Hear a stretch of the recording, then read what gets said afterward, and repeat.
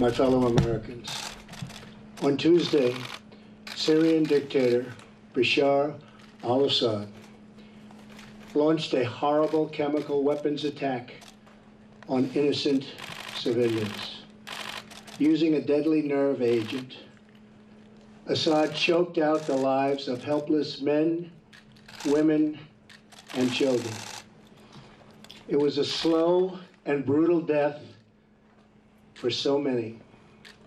Even beautiful babies were cruelly murdered in this very barbaric attack.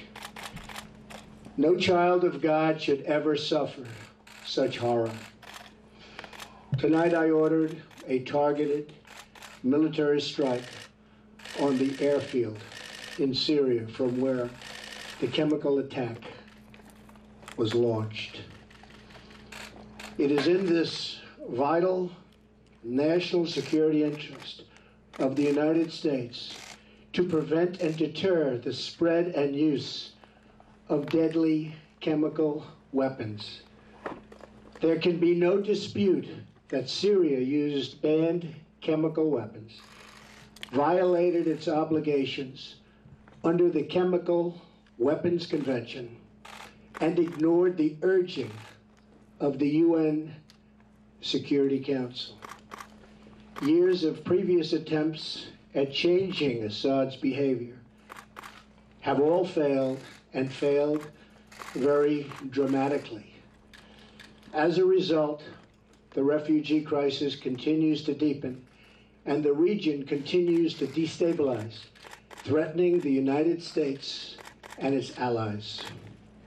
Tonight I call on all civilized nations to join us in seeking to end the slaughter and bloodshed in Syria, and also to end terrorism of all kinds and all types.